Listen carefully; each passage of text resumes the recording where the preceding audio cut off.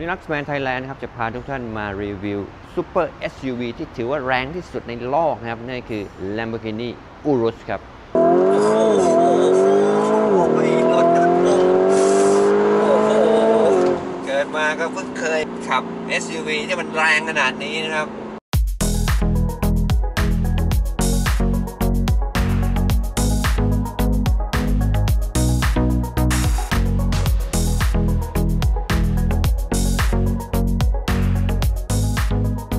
วัติของรถ SUV ของ Lamborghini กันนิดหนึ่งนะครับ ในปี 1977 นะครับ ทางบริษัท Lamborghini ได้พัฒนารถต้นแบบที่มีชื่อว่า Cheetah ซึ่งได้เปิดตัวครั้งแรกที่เจนีวามอเตอร์โชว์นับเป็นการร่วมมือกันระหว่างบริษัทสหรัฐอเมริกาและบริษัทจากอิตาลีนะครับที่จะเสนอยานยนต์สำหรับกองทัพสหรัฐอเมริกา ที่จะมีรูปแบบเดียวกันกับรถจี๊ปหรือรถฮัมวี่นั่นเอง รถคันนี้นะครับ ใช้เครื่องยนต์ Chrysler V8 190 แรงม้า เกียร์ออโต้ 3 speed จากสหรัฐอเมริกา วางไว้ด้านท้ายครับ และใช้ยางแบบ run flat ฮะ แต่ด้วยสมรรถนะที่ไม่ดีนักนะครับทำให้รถคันนี้ผลิตออกมาเพียงคันเดียวนะฮะ และไม่ประสบความสำเร็จนะครับ เพราะทางกองทัพสหรัฐไม่ได้สั่งซื้อรถรุ่นนี้เลยครับ ต่อมาในปี 1981 นะครับที่งานเจนีวามอเตอร์โชว์ ทางบริษัทได้นำเอา Cheetah มาพัฒนาต่อฮะ โดยการเปลี่ยนเครื่องยนต์เป็นของ AMC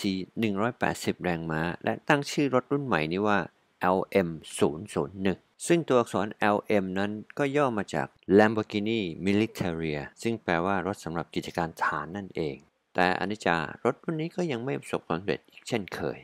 ต่อมาในปี 1982 นะครับ ทางบริษัทก็ได้พยายามอีกครั้งหนึ่งครับ โดยการออกรถต้นแบบรุ่น LMA 002ในเมื่อขายทหารไม่ได้สักทีนะครับ ก็เลยเปลี่ยนกลุ่มเป้าหมายนะครับ มาขายมหาเศรษฐีดีกว่า โดยการออกแบบตัวถังโครงสร้างใหม่นะครับ เป็นแบบ Tubular Space Frame โดยย้ายเครื่องยนต์จากด้านหลังนะครับ มาไว้ด้านหน้านะครับ และที่สำคัญนะครับ ได้นำเครื่องตัวท็อปสุดของบริษัทนะครับ นั่นคือเครื่อง V12 สูบที่ใช้อยู่ในซูเปอร์คาร์อย่างรุ่น Countach LP 500S มาเป็นขุมพลังของรถรุ่นนี้นั่นเอง ซึ่งเมื่อรถต้นแบบคันนี้ครับถูกโชว์ตัวครั้งแรกที่งาน Geneva Motor Show ปี 1982 ก็ได้รับความสนใจเพิ่มมากขึ้นจากรุ่นเดิมอย่างเห็นได้ชัดเลยครับทำให้รถรุ่นนี้นะครับขึ้นสู่สายการผลิตใน 4 ปีถัดมาครับ ในปี 1986 นะครับ รถรุ่น LM 002 ครับ ถูกเปิดตัวอย่างเป็นทางการครับที่ Brussels Auto Show ซึ่ ซึ่งได้รับสมญานามในขณะนั้นว่า Rambo Lambo รถนี้ถูกตกแต่งภายในแบบลักชัวรี่เต็มรูปแบบนะฮะ มีเบาะหนังแท้กระจกไฟฟ้า ระบบเครื่องเสียงนะครับ เรียกได้ว่าจัดเต็มสำหรับลูกค้าระดับ VIP โดยเฉพาะ แม้แต่ยางที่ใช้เนี่ยก็ยังเป็น Pirelli Scorpion นะครับ แบบ Run Flat ที่ถูกพัฒนามาโดยเฉพาะสำหรับรุ่นนี้เลยครับสำหรับเครื่องยนต์ครับเป็นขนาด 5.2 ลิตร V12 สูบนะฮะและ 7.2 ลิตร V12 สูบของรุ่น Countach นะครับซึ่งรถรุ่นนี้นะผลิตระหว่างปี 1986 ถึง 1993 นะครับรวมทั้งสิ้นทั้งหมด 328 คันครับหลังจากนั้นนะครับอีก 9 ปีถัดมานะครับทางบริษัท Lamborghini ก็ได้ออกรถต้นแบบนะครับที่ชื่อว่า Urus เป็นครั้งแรกนะครับที่ปักกิ่งออโตโชว์ปี 2012 โดยใช้ขุมพลังจากเครื่องยนต์ V10 สูบ600 แรงม้าจากรุ่น Gallardo ส่วนรูปทรงภายนอกได้รับแรงบันดาลใจจากเส้นสายของรุ่น Aventador โดยฝีมือการออกแบบของคุณ Filippo Perini ซึ่งผมมีโอกาสได้ไปร่วมงานฉลองครบรอบ 50 ปีของ Lamborghini นะครับที่โรงงานที่อิตาลีนะฮะซึ่งท่านประธานก็ได้กล่าวในงานไว้ว่า รถอูรุสนะครับจะออกวางจำหน่ายจริงในปี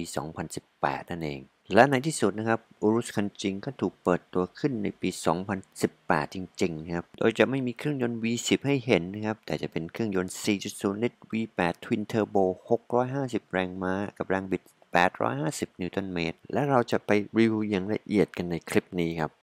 มาดูการออกแบบภายนอกกันนิดหนึ่งนะครับ รถตัวนี้ถือว่าออกแบบได้อย่างเฉียบขาด และมีเอกลักษณ์เป็นของตัวเองมาก ๆ เลยนะครับ เริ่มจากไฟหน้าเลยนะไฟหน้าเป็นระบบ Full Adaptive LED ซึ่งสามารถเลี้ยวตามล้อด้วยนะครับ มีไฟที่สามารถเลี้ยวตามล้อได้ด้วย ด้านข้างนี้ฮะจะเขียนว่า Lamborghini Technica LED นะครับ สังเกตดีเทลเล็กๆเนี่ยนะครับ จะเป็นรูปตัว Y นะครับ และแน่นอนครับตัว daytime running light นี่ก็จะเป็นรูปตัว Y ฮะนี่คือเอกลักษณ์นะครับ กระจังต่างๆ ก็จะเป็นรูป hexagon หรือรูปหกเหลี่ยมนั่นเองนะครับกระจังหน้านะครับถูกออกแบบได้อย่างดุดันมากๆนะครับและมีความซับซ้อนนะครับใกล้เคียงกับรุ่นต้นแบบนะฮะและนี่ก็คือเซ็นเซอร์ด้านหน้านะครับตัวจับด้านหน้าและกล้องครับกล้องด้านหน้า ซึ่งกล้องนี้ก็จะมีรอบคันเลยนะฮะสำหรับไฟ daytime running light ตรงนี้นะครับที่เป็นรูปตัว Y นะครับ เมื่อเราเปิดไฟเลี้ยวนะครับ มันก็จะถูกสลับส้มขาวส้มนะครับ สังเกตนะฮะซุ้มล้อนะครับ หรือเส้นขอบล้อตรงนี้นะครับ ก็จะนำมาจากรุ่น LM 002นะครับ เช่นเดียวกับดีไซน์ตรงนี้นะครับ ก็ได้แรงบันดาลใจมาจากรุ่น LM 002ในอดีตนั่นเองครับสำหรับล้อหน้าเป็นยาง Piri P0 นะครับ ขนาด 285 40 ZR 22 ครับ สังเกตที่แก้มยางดีๆนะครับจะมีรูปตัว L นะครับ ซึ่งเป็นโลโก้ของ Lamborghini นะครับ รถตัวนี้ฮะพิเศษมากๆนะครับ มียางเป็นของตัวเองเลยนะครับสำหรับล้อหลังนะครับจะกว้างกว่าและใหญ่กว่านะครับ นั่นคือไซส์ 325 35 ZR 22 เลยครับสำหรับการดีไซน์ด้านข้างนะครับ สังเกตดีๆนะครับ เส้นของหลังคานะฮะแม้กระทั่งรถรุ่น Aventador นะครับ ที่เป็นซูเปอร์คาร์นะครับ ก็จะเป็นเส้นเดียวกันนะฮะสังเกตดูนะฮะเส้นหลังคาจะ ขึ้นมาจากข้างหน้านะครับและยาวมาตลอดลาดลงข้างหลังเห็นไหมฮะการดีไซน์ด้านข้างนะครับจะเป็นโป่งออกมานะครับซึ่งเหมือนกับกล้ามเนื้อของวัวกระทิงนะครับที่แบบเป็นมัดๆเลยนะฮะนี่คือ DNA ของเขาอย่างแท้จริงนะครับมาถึงด้านหลังนะครับออกแบบได้อย่างเฉียบขาดมากๆนะครับนี่คือสปอยเลอร์บนเนี่ยที่มีช่องเล็กๆนะครับ ให้ลมผ่านนะครับ แล้วก็มีสปอยเลอร์อีกด้านนี้นะครับดีไซน์ได้สวยงามมาก แต่สังเกตดูนะครับ ด้านหลังจะไม่มีที่ปัดน้ำฝนนะครับ ให้เกะกะลูกตานะครับ เดี๋ยวไม่สปอร์ตนะครับ มาถึงไฟท้ายครับ เช่นเดียวกันนะครับ Y shape แน่นอนนะครับ ตรงนี้นะครับ แล้วก็เขียนว่า Lamborghini Technica LED และมีตัวดีเทล Y เต็มไปหมดเลยฮะตรงนี้ นี่คือ detail ของเจ้า Urus คันนี้นะครับ และสำหรับไฟถอยหลังนะครับ อยู่ตรงนี้ครับดวงเล็กมาก ๆนะครับตรงนี้นะครับ แต่ให้ความสว่างแบบชัดเจนมากๆ มี 2 ดวงครับซ้ายและขวานะครับสำหรับกันชนด้านล่างนะครับ ก็จะเป็นถูกดีไซน์ได้อย่างสวยงามมากๆนะครับเป็น diffuser นะครับ แล้วก็มาถึงท่อไอเสีย อันนี้เป็นสั่งพิเศษนะครับ ก็คือท่อ Akrapovic นะครับ ซึ่งเป็นท่อชื่อดังเลยนะครับ ร่วมกับ Lamborghini ครับ พัฒนาสำหรับ Urus รุ่นนี้นะครับ สามารถสั่งเป็นออปชั่นพิเศษได้นะครับ กระซิบเบาๆนะครับ ราคาชุดนี้ประมาณ 700,000 กว่าบาทเองครับ มาชมฝาน้ำมันของเจ้า Urus กันหน่อยนะครับ ว่าจะเป็นอย่างไรนะครับ กดล็อกแล้วก็เปิดกดเข้าไปนะ โอ้โห ไม่ผิดหวังครับ ฝาเป็นลายคาร์บอนไฟเบอร์เลยนะครับ สมราคาครับ เดี๋ยวมาดูเครื่องยนต์กันหน่อยนะครับ เปิดตรงนี้ครับ ที่เปิดอันใหญ่นี่นะฮะเครื่องยนต์มีโชคให้นะครับ และมีสลัก 2 ตัวนะครับตรงนี้นะครับ เครื่องยนต์ 4 ลิตร V8 Twin Turbo ฮะ 650 แรงม้า กับแรงบิดสูงถึง 850 นิวตันเมตรเลยนะครับ แต่ที่สำคัญนะครับนี่คือป้ายนะครับ ป้ายที่เขียนว่า V8 Turbo Compressor เนี่ยนะฮะนี่คือ firing order ของลูกสูบนั่นเองนะครับ มาดูภายในรถกันบ้างนะครับ ว่าจะเป็นอย่างไรนะครับ เริ่มจากที่แผงประตูก่อนเลยครับ งประตูจะมีที่ unlock lock นะครับที่เปิดเป็นโลหะนะครับ hexagon เหมือนกันครับหกเหลี่ยมนะฮะตรงนี้เป็นที่ปรับกระจกมองข้างนะครับ ที่สามารถพับได้ด้วยนะครับ และตรงนี้ก็เป็น power window มีที่ล็อกเด็กด้านหลังนะครับ ตรงนี้จะเป็นที่เซตเบาะนะฮะได้ 2 คนนะครับ และนี่คือที่เปิดฝาท้ายครับ ด้านนี้จะเป็นที่ใส่แก้วน้ำหรือขวดน้ำนะใหญ่ได้เลยนะครับ แล้วก็มีที่เก็บของอีกเล็กน้อยนะครับสำหรับที่เปิดประตูตรงนี้นะครับ ถ้าใครไม่ชินนะฮะก็อาจจะดูแล้วอาจจะเปิดไม่สะดวกนะครับเวลาเราเปิดเราก็จะเอามืออย่างนี้นะฮะจะไม่สะดวกนะครับ มันจะต้องเอามือสอดอย่างนี้ครับ ซึ่งมันจะแคบนิดนึงนะครับ เราเปิด เราสามารถเปิดเล่นวิทยุอะไรได้นะครับ โดยยังไม่ต้องสตาร์ทเครื่องนะครับ แต่เขาก็จะมีไฟสีแดงเตือนแบบนี้ครับว่าระวังไฟจะหมดด้วยนะครับ ระบบเครื่องเสียงนะครับ เป็นของ Bang Olufsen นะครับ ซึ่งเป็น high-end เลยนะฮะ แต่สังเกตดูนะครับ รูก็จะเป็น Y shape เช่นเดียวกันนะครับ สวยงามมาก ๆ ครับ แล้วนี่ก็คือเครื่องเสียงนะครับ Bang Olufsen นะครับ ดูแล้วไฮเทคมาก ๆ นะครับ เมื่อเราเปิดสวิตช์นะครับจาก Twitter ก็จะโผล่ขึ้นมาให้เราได้ฟังเสียงอย่างดีเลยนะครับ แล้วเมื่อเราปิดดับเครื่องนะครับ มันก็จะลงไปโดยอัตโนมัติครับระเบาะนะครับเป็นเบาะไฟฟ้านะครับนี่เราปรับได้ทุกทิศทางเลยนะครับ ซึ่งเบาะหนังนี่เป็นเบาะหนังชั้นดีนะครับ เป็นหนังเหมือนโซฟาที่บ้านเลยนะฮะเป็นจากอิตาลีนะครับ แม้แต่ที่เหยียบเบรกนะครับคันเร่งและที่พักเท้านะครับ ก็ยังเป็นลายรูปตัว Y เหมือนกันครับว่าเขาเรียกว่าใส่ใจเรื่องรายละเอียดจริง ๆ ครับำหรับด้านขวาตรงนี้นะครับ เป็นปุ่มสำหรับไฟนะฮะไฟหน้าไฟท้ายนะครับแต่ปกติก็กดออโต้อยู่แล้วนะครับพวงมาลัยเป็นมัลติฟังชันนะครับ ด้านซ้ายจะเป็นการควบคุม Information ต่างๆนะครับ ส่วนด้านขวาจะเป็นควบคุมโทรศัพท์นะครับ สั่งงานด้วยเสียงนะฮะและควบคุมวอลลุ่มของเครื่องเสียงครับสำหรับ Paddle Shift นะครับ ด้านขวาเป็นบวกฮะด้านซ้ายเป็นลบนะฮะซึ่งดีไซน์ก็จะโอ้ ไม่เหมือนใครนะครับ มันเท่มากจริงๆเลยนะครับ ตามมาด้วยก้านควบคุมที่ปัดน้ำฝนนะครับ และการควบคุมไฟเลี้ยวและไฟสูงครับ และก้านข้างล่างนะครับก็คือ cruise control นะครับ ส่วนเจ้า paddle shift เนี่ยสามารถเลี้ยวไปตามพวงมาลัยได้ด้วยนะครับ ตรงนี้ก็จะเป็นลำโพงครับ ที่จะเป็นลาย Y shape เช่นเดียวกันนะครับ ช่องแอร์นะครับ ที่ก็จะเป็นหกเหลี่ยมนะครับ ลงมาจะเป็นจอนะฮะ infotainment ครับสำหรับคา infotainment นะครับ ก็จะเป็นจอใหญ่นะครับ ใช้ระบบสัมผัสนะครับ นี่ไปที่หน้า home นะฮะ เราลอง setting ที่ Urus ก่อนตัวรถนะครับ โหมดของการขับก็อยู่ตรงนี้ครับ ก็จะเป็น Lamborghini Anima เนี่ยนะฮะเนี่ยนะฮะ ก็จะมีเลือกโหมดจากตรงนี้ก็ได้นะครับ Strada ก็คือคือ Street นะครับ ก็จะเป็นรูปเมืองเห็นไหมฮะ background ก็จะเป็นรูปเมืองนะฮะมาถึง Sport นะครับก็จะเป็นรูปไฮเวย์นะครับ Corsa นะฮะก็จะเป็น Track s a b i a Terra ก็จะเป็นโหมดของ Off-road นะฮะ Neve ก็จะเป็นหิมะใช่ไหมฮะส่วน Ego Ego ก็สามารถเซตได้นะครับ Individual นั่นเองนะฮะโหมด Navigation นะครับแม้แต่ Navigation ก็ยังเป็น Hexagon นี่คือหกเหลี่ยมเลยนะฮะ ถัดลงมานะครับเป็นปุ่ม traction off นะครับ hazard นะครับ แล้วก็การไล่ฟ้าหน้าและหลังนะครับ ถัดลงมานะครับก็จะเป็นปุ่มย่อยลงมาอีกนะครับ auto start stop เครื่องยนต์ อันนี้เป็นปุ่ม hill descent control นะครับ อันนี้เป็นปุ่ม lane departure warning นะครับ อันนี้เป็นปุ่มให้มีเมนูมากขึ้นนะครับ และนี่ก็เป็นปุ่มปิดจอเลยนะครับด้านล่างนี่ครับคือการควบคุมระบบแอร์ทั้งหมดนะครับ นี่จะเป็นอุณหภูมินะฮะ ซึ่งก็สามารถปรับเป็นแบบนี้ได้ เลื่อนแบบนี้ได้ การปรับเบาะครับ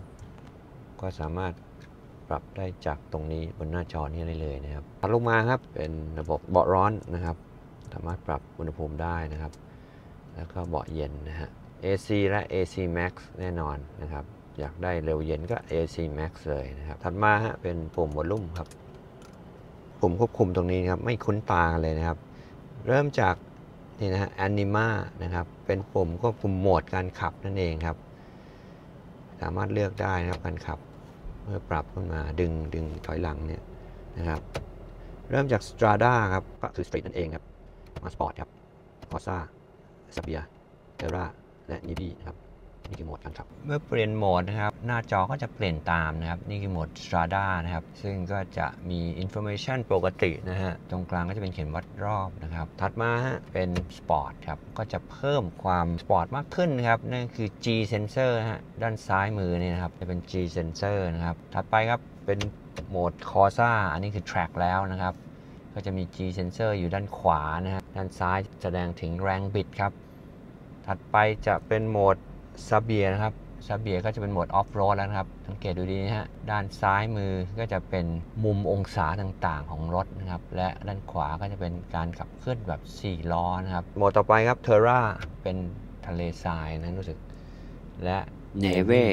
ก็จะเป็นบนหิมะนั่นเนเอวี่งจะเป็นนะครับบนหิมะถัดมาอันกลางเนี่ยนะครับ ก็จะเป็นปุ่มเกียร์ถอยหลังครับถ้าดันกลับมาเนี่ยก็จะเป็นเกียร์ถอยหลังนะฮะส่วนตัวนี้ก็เป็น P นะครับปาร์กนะครับ และอันนี้ก็เป็นเกียร์แมนนวลนะครับสำหรับปุ่ม Start Stop เครื่องยนต์เนี่ยครับ Lamborghini ได้ทำมาตั้งแต่รุ่น Aventador นะฮะ ซึ่งบางคนอาจจะขี้เกียจเปิดนะครับขี้เกียจเปิดเวลาเวลา start เครื่องเนี่ยเขาก็เลยทำช่องหน้าต่างไว้ให้เลยนะครับ สามารถกด start ได้เลยทันทีนะครับ ถ้าขี้เกียจเปิดฝานะครับสำหรับปุ่ม Eco นะครับ ก็สามารถเลือกได้ฮะ เหมือน Individual นะฮะ สามารถเซตช่วงล่างก่อนนะครับ ช่วงล่างก็จะเลือกได้ Medium Sportive และ Smooth นะครับ ส่วนอันนี้ก็เป็นเลือกพวงมาลัยครับ พวงมาลัยก็ได้ 3 แบบเหมือนกันนะครับ Medium Sportive และ Smooth นะฮะ เช่นเดียวกับช่วงล่างโชคนะครับ ก็จะเป็น Medium Sportive และ Smooth ครับถัดลงมานะครับก็จะเป็นที่วางกุญแจนะครับ ตรงนี้เป็นปุ่มกล้อง 360 องศาครับ เมื่อเรากดไปนะครับจะขึ้นที่จอเลยนะครับ และที่สำคัญครับ มีปุ่มเขียนว่า 3D ตรงนี้ครับ สามารถแตะเข้าไปครับปุ๊บกล้อง 360 องศาจะจำลองภาพจริง ๆ มาเลยนะครับ เห็นไหมฮะ เราสามารถเล่นได้เหมือนวิดีโอเกมเลยนะครับ สามารถหมุนรถดูได้เลยนะครับ หมุนดูได้เลยนะครับ รอบคันนะครับ ซึ่งที่เจ๋งกว่านั้นนะครับ ไฟฮะ ไฟ หรือว่าโดไฟ ไฟเบรกมีครับ นี่ผมเหยียบเบรกนะฮะ ไฟเบรกจะขึ้นนะครับ หรือเปิดปุ่มให้สาดนะครับ เห็นไหมไฟจะขึ้นตาม เหมือนจริงเลยนะครับ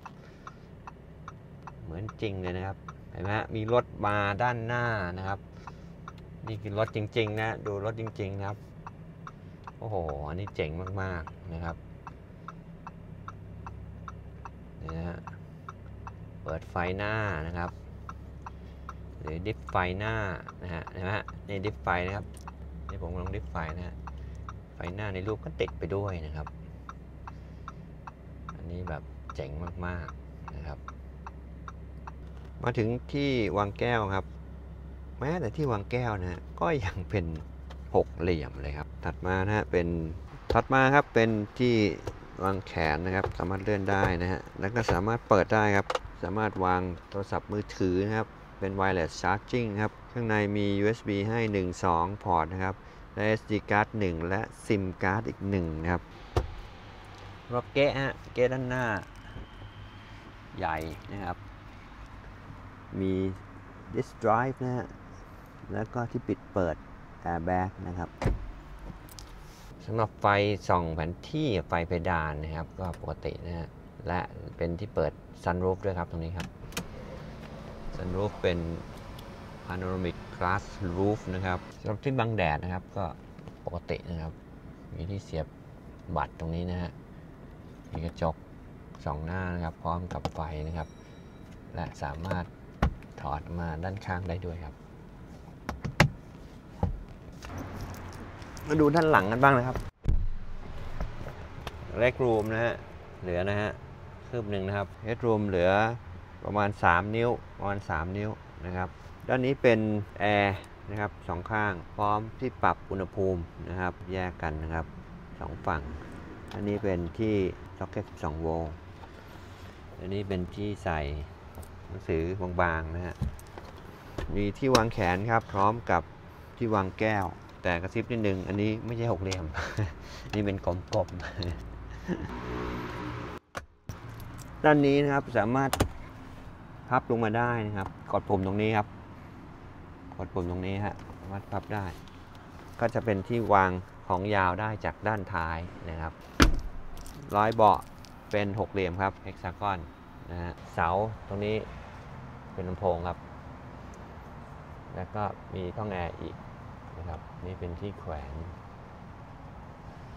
อันนี้ก็จะเป็นที่แขวนเหมือนกัน เบาะมีช่อง ไฟบนเพดาน ตรงนี้นะครับสามารถพับเบาะได้ครับ พับเบาะเรียบได้หมดนะฮะ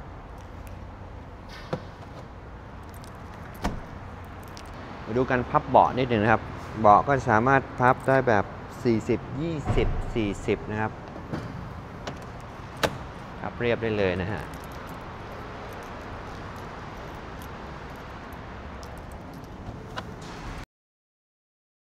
สำหรับการเปิดฝาท้ายนะครับ สามารถเปิดได้จากรีโมทคอนโทรลได้เลยนะครับนั่นคือกดแค่นิดนึงนะครับ ฝาท้ายก็จะเปิดให้เรานะฮะและปิดครับปิดก็จะกดแช่นิดนึงให้ให้มีเสียงก่อน แล้วเราก็ปล่อยได้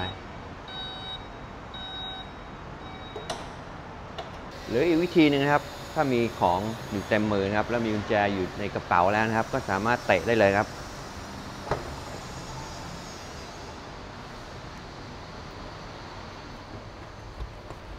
และเมื่อจะเอาของออกนะครับ ก็หยิบ แล้วก็เตะได้เหมือนกันครับ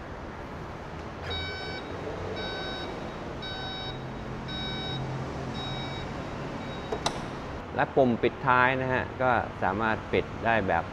ปิดท้ายปกติและล็อกด้วยเอาละครับแล้วตอนนี้นะครับผมก็อยู่บนเจ้า Lamborghini Urus เรียบร้อยแล้วนะครับ การเข้าเกียร์นะครับ เวลาเปิดสตาร์ทก็จะกดเปิดตัวนี้นะครับแล้วกดปุ่ม start stop นะครับ ส่วนเกียร์เดินหน้าเนี่ย ถ้าหลายคนอาจจะงงนะครับว่า เอ๊ะ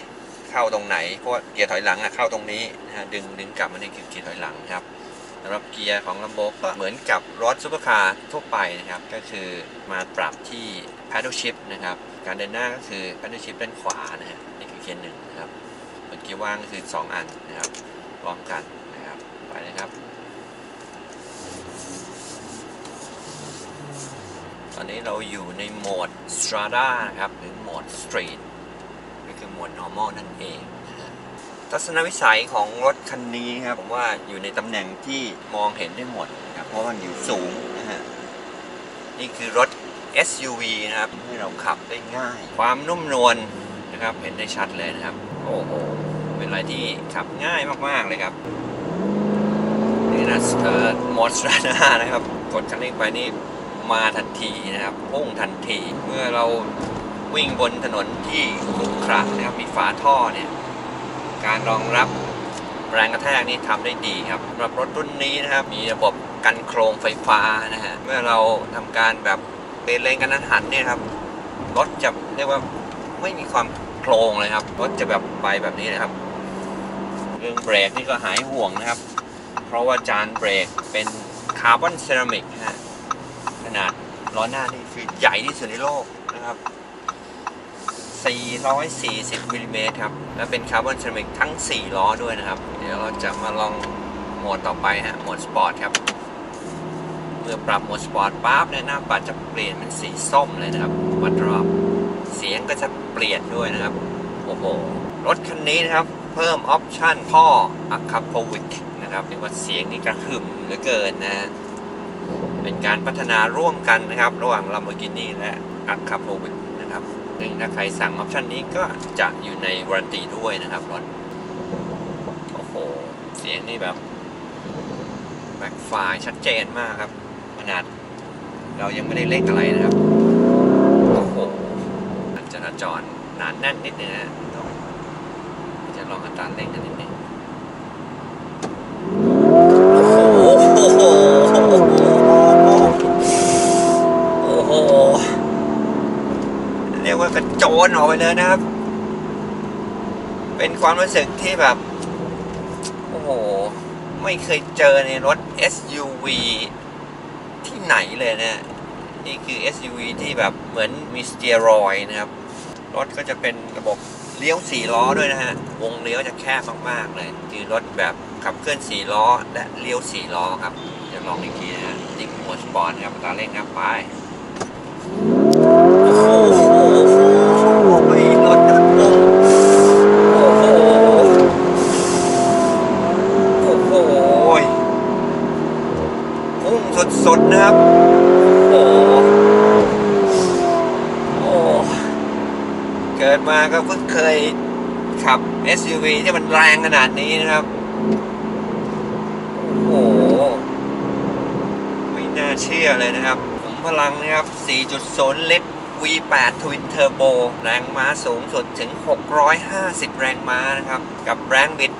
850 นิวตันเมตรครับตาเร่งนี่หายห่วงเลยนะฮะ0ถึง100 เนี่ย ใช้เวลาเพียงแค่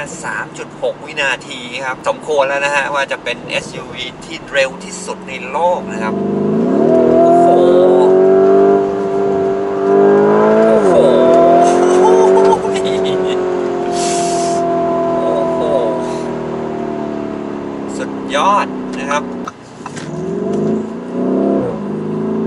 เดี๋ยวเราจะมาล องโหมดคอซ่ากันบ้างนะครับ โหมด Corsa ปั๊บหน้าปัดจะเปลี่ยนฮะเข็มวัดรอบจะใหญ่ขึ้นครับ จะมีเตอร์ของแรงบิดนะครับ อยู่ด้านซ้ายแล้วก็ G มิเตอร์อยู่ด้านขวาครับ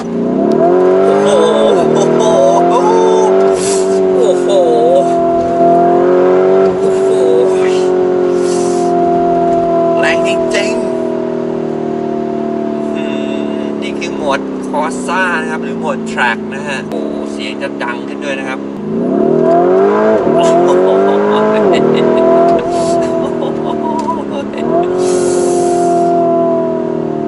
เรื่องเบรกนี่ก็หายห่วงเบรกจาก 100 กิโลเมตรต่อชั่วโมง มาถึงจุดหยุดนิ่งคือ 0 กิโลเมตรต่อชั่วโมงเนี่ยใช้ระยะเพียงแค่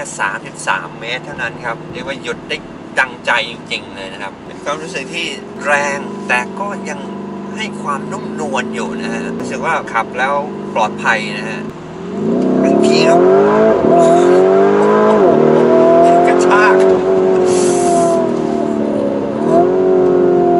สำหรับโหมดออฟโรดเราก็จะไม่ลองนะครับ จะกลับมาสู่โหมด Strada ใหม่นะครับ หลังจากที่ได้ลองขับมาสักพักหนึ่งแล้วนะครับ อาจพอสรุปได้ว่านะครับ รถคันนี้ถือว่าเป็นอะไรที่พิเศษจริงๆนะครับ เพราะว่านี่คือ Super SUV ครับ ที่สามารถใช้งานได้ทุกรูปแบบนะครับ ไม่ว่าจะขับในเมืองนะครับ หรือจะออกนอกเมือง หรือจะไปลุยแบบออฟโรดก็ยังได้นะครับ เป็นอะไรที่ใช้งานได้อนเนกประสงค์จริง ๆ นะครับ และแน่นอนที่สุดครับ DNA ของ Lamborghini มาเต็มนะครับ ตั้งแต่ Y shape hexagon หรือหกเหลี่ยมมีอยู่ในทุกอณูของรถคันนี้นะครับ DNA ของรถซุปเปอร์คาร์นะครับ มาประสานกับรถ SUV ได้ลงตัวมาก ๆ เลยนะฮะสำหรับราคาของรถรุ่นนี้นะครับ ก็เริ่มต้นที่ 22.7 ล้านบาทครับ ถ้าใครที่จะใส่ออปชั่นนะฮะเพิ่มออปชั่นเข้าไปนะครับ ก็ จัดได้ตามสบายนะครับสำหรับใครที่ชอบคลิปนี้นะครับ อย่าลืมกดไลค์กดแชร์กด subscribe และกดสั่นกระดิ่งครับ เพื่อเป็นกำลังใจให้กับช่อง Luxman Thailand ด้วยนะครับสำหรับวันนี้หมดเวลาแล้วพบกันใหม่คลิปหน้าครับ สวัสดีครับ